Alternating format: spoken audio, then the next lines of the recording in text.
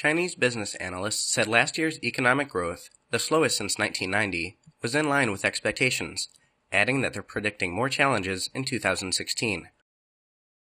Data issued on Tuesday showed that China's economic growth slowed to a 25 year low of 6.9% in 2015. Consumption was not that strong, although it was boosted by e commerce.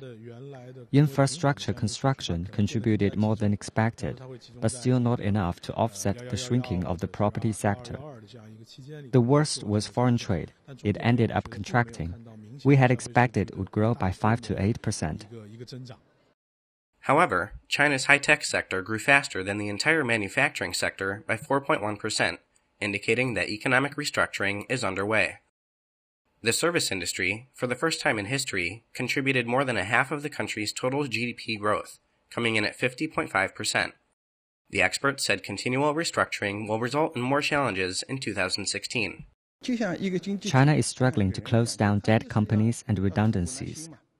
The economy won't prosper until those negative influences are screened out.